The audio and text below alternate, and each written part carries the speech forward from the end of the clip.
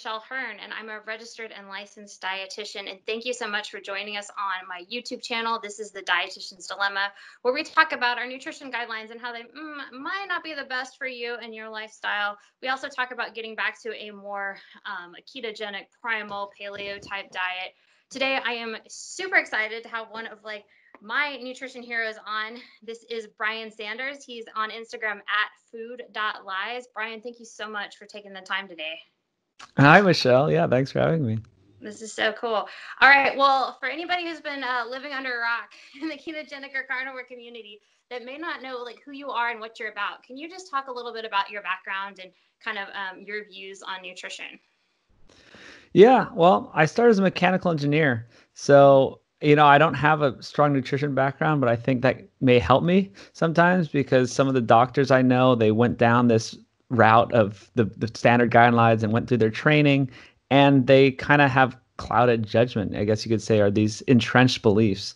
And so i came at it from a more engineering perspective. You know it's a root cause. Like what's the root cause of the problem? And a lot of medicine these days they treat the symptoms of the problem right? And they give you a pill and they give you you know this and that and you leave. So uh, yeah I, I think it helped me but I, i've been on this journey for you know, about five to seven years now, and you know, have dedicated my life to this. So I feel like I I have a strong background in you know like figuring out the science and talking. I talked to over 150 people in the health space, all the you know the biggest names I could get, all the interesting people from all sides.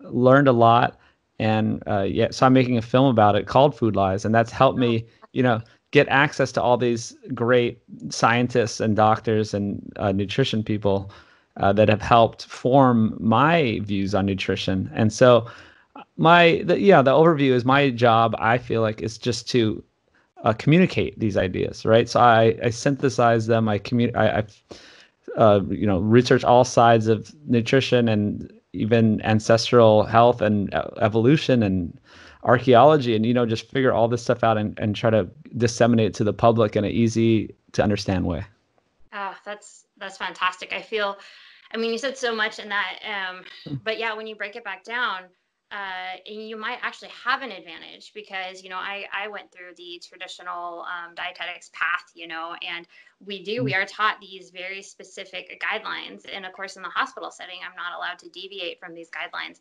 And I often wonder what maybe potentially how different things would have been if I hadn't initially stepped in that and I just had kind of gone the route you did and really took a step back and said, okay, this is how humans evolved. We were we were so much healthier, and now we're seeing this chronic disease. And so now I've kind of had to like reverse engineer and be like, okay, I've been a dietitian for 11 years, and I've seen massive suffering. You know, I've seen diabetes, I've seen stroke, um, you know, cancer rates, uh, geez, heart disease. Uh, even since the last decade that I've been a dietitian, the rates have increased, the suffering has increased. And what I'm told in my profession is the problem is that patients just really aren't following the nutrition guidelines. Where if we just ate more fruits and vegetables, if we just ate more healthy whole grains, then we'd be just fine.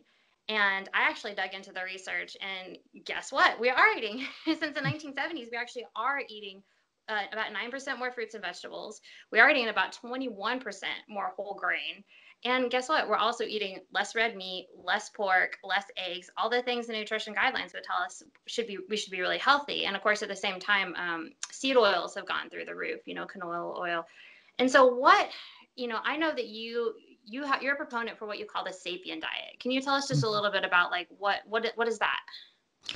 Yeah, it's funny. Uh, just to go back a little on what you said and how wrong we got it, right? Like everything that we thought was correct it's you kind of almost do the opposite and you'll be healthy and it, it's really sad and we're going to cover this in the film like all all the stuff he's just said because we are doing what they said and it didn't work and i was just thinking about it yesterday actually when i was i was sprinting i love to do these like you know short workouts of intense workouts and people for all of history had the right idea with trial and error and observations right? For like a million years of pre-humans and in ancient humans a 100000 couple hundred thousand years ago we, we figured out we're healthy we use our senses. Then we had this era of science in the last hundred years where we're like, oh wow, we have instruments, you know, we can figure things out. Like, oh, there's a pill, we can make compounds and molecules and feed them to people, and and this is going to cure everything. And once we went down that path, it kind of deviated our course of history and we got really messed up, right, as a population. And now I feel like we're entering this era of correcting all that and going back to our roots and going back now. And we have new science to show that all the things we thought for the past 50 years turn out to be wrong. So it's yes. great that we're doing all this new research and you know there's great scientists studying ketogenic diets and ancestral diets and you know it's it's awesome. But it, it's just so funny how backwards we got it, like how exactly wrong we got it. So a, a sapien diet is really just going back to those roots, right? It's what should Homo sapiens eat, and it's it's a framework. It's not just one diet, you know. I mean, I think anyone can thrive on a more animal-based diet without any processed foods, but not everyone has to follow the exact same pattern. But eh, it's it's it's very simple though you know Like I, I don't i'm not tied to like one way of eating other than what i said is like including a lot of animal foods where all the bioavailable nutrition is not eating processed foods not eating the sugars refined grains and seed oils. And you're you're 80% there right? I mean yes we can tweak it and we can you know maybe some problem foods with some plant foods or there's some different uh, you know fat to whatever ratios but i mean that's the basics. Yeah, and that's what I found so so beautiful about like a carnivore based diet. Um, and even like yeah, the sapien diet is that it is so simple. Like as humans, we have vastly overcomplicated it. And it's interesting. You made a really good point that people they have the wrong information. You know, if I go into most of my hospital patients, let's say I have a patient who's diabetic, who's overweight, and I go in and talk to them, they'll often tell me like, "Oh yeah, I, I eat healthy. I eat salad and brown rice and chicken and well, one, they probably don't do that because their blood, blood sugar is really high. But that's their idea of healthy. That is their general idea. And, you know, it's not uncommon. You know, we put people on these heart healthy diets, which are terrible for their heart, but they're basically low fat, um, low fat, high carbohydrate diets. And people will sneak food in. People have family members sneak food in. I had a diabetic patient like wheel themselves in a wheelchair out of the hospital. You can't put people, uh, you can't ask people to follow an eating regimen where they're hungry you know, where um, they're not getting the nutrition, which I'm with you. I believe that most nutrition, I believe the, the studies show that the most highly uh, bioavailable, absorbable nutrition comes from those animal products, you know, the muscle meats, the organ tissues. Um, you know, I'm also, I'm someone who eats dairy, some cheese. And when we feed people in a way that you get that fat, that you get that protein, you know not only does it does it heal your body and allow you to um, you know have a have a healthy normal bmi normal weight and also what we're seeing is it has um, a dramatic effect on your brain. You know that i've had several guests on that have talked about um, you know anxiety myself included just so much better anxiety reduction and depression all kinds of you know just stable stable energy. Since you've switched your diet um, well, I guess you could tell us maybe even back up. Like, what did you used to eat? You said it's been five to seven years. Like, can you did you all, always follow a diet like this, or how did you kind of mm. come to this? Well, yeah. The, uh, so five years ago is when I really started changing and and focusing on it. Because my parents both, I lost both my parents from eating the standard American diet, and they weren't eating fast food. We were cooking our own food, and we were eating the food pyramid, and it just slowly crept up with them. It, it's it's how it works. Is you also mentioned satiety, right? It's like if you're hungry, I think this is the root of health is satiety and and managing weight. And if you're eating that type of standard American diet, you're never satisfied and you end up just eating more and snacking and then it's like oh i need dessert and you're just never satisfied so so yeah so about five years ago is when i kind of woke up although i was i was kind of getting some you know on the right track up to seven years ago and uh, it, it took me a while to implement in my life. And i'm not saying it's easy for everyone, everyone to do overnight either right? I, I had my own journey of getting there and and trying and cutting out foods to get to where i'm at. But i i actually looked back and realized that before that for all throughout my 20s i was eating the standard american diet. And in in a no no not standard i mean the food pyramid sorry the healthy version of the food pyramid diet. And i was a mess. Like i was just getting I was cooking all my own food. I was doing like you said, I made the rice, it's like brown rice and the broccoli and the chicken breast, and lean chicken, all that type of stuff. And uh, I just what my body composition was terrible. I was wearing four I had four pant size bigger. and I even thought I was in shape. I had chronic injuries to my wrists and arms from the, you know chronic overuse. I had all kinds of little stuff. I would get sick all the time. And once I just made these simple changes of yeah, when you know getting fat adapted, eating ancestral foods, the all that stuff went away. I dropped down. I bought, had to buy new board shorts and all these things, and I yeah I could use the computer again. And it was very simple because all I did was swap out you know the rice and the bread with some mushrooms or some avocado, and that's all. That's it. I mean, it's really simple. I'm just and then just eat a little more animal foods, and yeah, and so.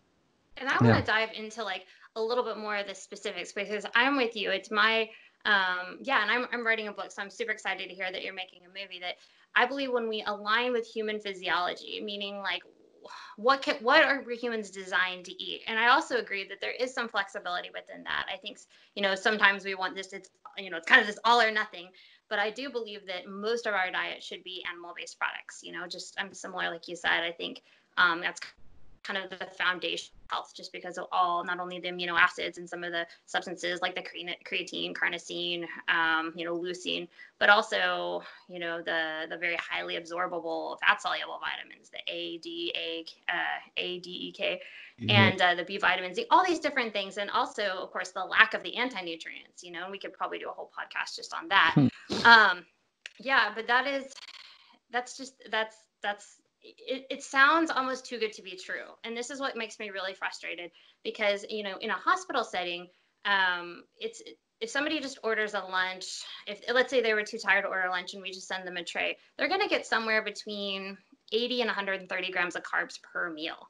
You know, right now they're going to get a side of uh, bread, they're going to get like a mashed potato, they're going to get some juice, they're going to get a cookie, and this is what's seen as the a, a good healthy meal.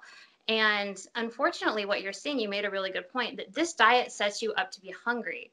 It blows my mind. When I used to follow a very high carbohydrate diet, I'm a distance runner, I could eat up to a thousand calories at 8 a.m. And by 11, my I felt hungry. I felt dizzy and shaky. It wasn't because I didn't have enough calories. Lord knows I had tons of calories. But when you eat in a way that, you know, you eat so many carbohydrates, even if they're the quote unquote healthy carbohydrates, the brown rices, that, you know, juice, the bananas, when your blood sugar goes up, you know, we just don't teach people and explain the, the, the cascade that happens in your body. So I'm a huge fan too of keeping insulin levels low. I think we need to follow a diet that keeps insulin levels low. And when you're eating carbohydrates once, twice, you know, most Americans eight or nine times a day, you're you're not only asking to kind of ride this energy high and low throughout the day you're also not only storing fat but it's incredibly inflammatory. Absolutely. Uh, yeah that so many runners actually even have problems and they're they can be thin but they have inflammatory problems because they're eating so many carbohydrates. And it's a great point to bring up in your time with the insulin and the blood sugar roller coaster. When are you going to be in fat burning mode if you're constantly eating all these carbs right? It's like there's there's there's two modes. It's like kind of an on or off switch. I mean, if you're constantly just putting more glucose in your body, then it switches to fat. You're not you're not you're not burning fat. You're storing fat. So it's a really crazy idea. They're like, oh yeah, eat six to eight small meals and keep your metabolism going. And I, I don't know how, how much how wrong you can get, but you know, I kind of yeah. wonder. I I'm not a conspiracy theorist, but it definitely seems like eh, you know, if you're, if, but if you're giving people carbohydrates and especially like diabetics and you're constantly having to use insulin, I mean, you know, I had a, I had a woman on that said, you know, I actually, she was on diabetic medication and she said if I didn't eat enough carbohydrates, I could go hypoglycemic. So it's almost like you're setting people up to fail. And I think as opposed to, you know, I know, and I, and I believe there's wonderful doctors in the medical industry. I often think like, you know, like your experiences, they just don't know. They're just taught like, hey, when someone's doing this, we treat it with this medication versus what if we started with diet? You know by the mm-hmm. time i see most hospital patients they are so sick. It is it is unusual to see someone on less than a dozen medications you know? And so we're almost just like band-aiding people versus like hey let's remove these um, inflammatory foods. I saw a study recently that somebody was um, they were able to get people off uh, up to 150 units of insulin at, with, within nine days nine days. And all they did was they took out the carbohydrates. They followed a significantly less carbohydrate diet. Um, yeah, for me, kind of the turning point, like you mentioned it with runners, is I am a long distance runner. I've been running marathons um, for 10 years, you know, qualified for Boston 12 times. And I wanted to qualify for the Olympic trials um, in the marathon. So you have to run under 245. I I no illusions of making the Olympic team. I'm no Shalane Flanagan or Kara Goucher, but I wanted to like line up and I'd run uh, 250, 255. So it was 10 minutes mm. away. But as I was training more and more, my muscles, I just wasn't recovering well. And I was, you know, I did what a lot of athletes will do, and I just kind of doubled down. I was eating 350, almost 400 grams of carbs a day. So I was like, well, maybe I'll eat 500. And so I'm sure you know to do that. I mean, I'm drinking maltodextrin juice, and it got to the point where I couldn't go for a two mile run without breaking out in a cold sweat. I was waking up in the middle of the night with these muscle aches and pain, and my joints hurt. And, you know, I reached out to people. I said, I'm, I, what do I do? I don't know what to do. And they just were like, look, you're just too old. You're too old to run. I'm almost 37. And I kind of had a pivotal moment where I ended up um, woke, up, woke up in the middle of the night. My muscles hurt. Actually drove to 7-Eleven, got 30 pounds of ice, like put it in the bathtub and just sat there and just was crying. And, you know, at that point, my, my wife was like, okay, we got to try something else. And so at that point, I thought, I'm going to have to quit running. Like, I'm no longer going to be able to run. Um, and I was kind of tried to be at peace with it. But then I thought, well, if I'm not running, then I can follow this low carbohydrate diet. I'd always, I like meat, I like fat. And within a week, things were so much better. I could not believe. And then once, you know, I got fat adapted, now I can run so much better. It's like, it's so interesting because we're taught, like, hey, you're not going to be able to participate in sport or you're not going to be able to do that without all these carbohydrates. If you chat with any sports dietitian, they're going to tell you 50, 60, 70% carbohydrates. And my diet right now is I mean, my volume is relatively low. I'm only running like uh, 50, 55 miles a week, but I'm having less than 50 grams of carbs a day. So yeah, well, I, I have a friend Zach Bitter who has the hundred mile world record, and you know, distance, you know, ultra marathon people will know about him, and he's eating mostly meat most of the time, yeah. and I mean, he, and he's doing great, and he talks about all the same things, you know, going away from all the carbs and much better recovery he has consistent energy just fine. I actually did a decathlon last year and wow. um, did it with no carbs, barely at all. And I was training at UCLA, and everyone there thought I was crazy. It was so funny. All these like 21 year olds athletes, they're like, "You don't eat carbs." Like I don't. They're like, "Where do you get your energy?" I'm like, "Fat." You get your energy from fat. And I did. Uh, there was no decathlon in the uh, Masters games in Toronto where I, I, competed. There was a pentathlon, and I did it fasted. I don't even know what I was doing. I just like didn't eat, and I just showed up at noon and did it until 5 p.m. And then you know I ate, I ate some I ate like a couple burger patties at like 6 p.m. That's and it was and I beat most people. I, I came in second in my age group and you know, the last event was a 1500 and I, you know, I beat almost everyone except for one guy. And, and no one could figure it out. And so, yeah, people just don't know about it. And, and there's another story with Professor Tim Noakes, if people have heard of him in South oh, yeah. Africa, right? So he was a marathoner. He wrote the book on running. He wrote, yeah, you know, he, wrote, he wrote running. That's like the, the Lore of Run Bible I used to read. Yeah. Yeah, and he he was promoting all the high carb diets and all that, and he got pre-diabetes as a thin man, as an athlete, got pre-diabetes, ripped out publicly, ripped out the pages of that book uh, on that he wrote about all the carbs, and is now a huge low carb advocate and is doing well. And you know, I, I've seen him around at some conferences lately, and he he's he's great. So yeah, a lot of people just don't know this information. Um, I don't, I don't know. I guess we can just get the information out there or let them know it's an option at least. I mean, that's one of my big goals is it's so hard to change these big governing bodies and you know the, let's change the entire like dietary guidelines and I don't think it's ever going to happen where they're just like, "Yep, we were wrong. We're going to do ancestral eating."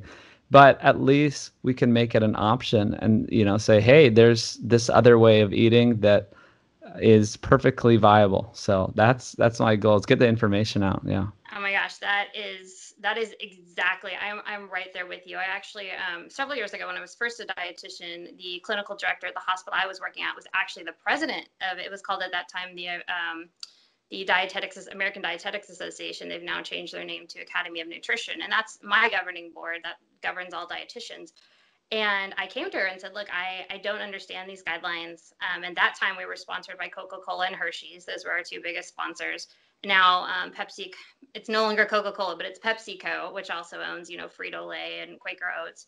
um, as well as General Mills, are some of the biggest sponsors of the Dietetics Association. And that at our big conference in 2019, uh, GlaxoSmithKline, one of the makers of diabetic drugs, was a big sponsor.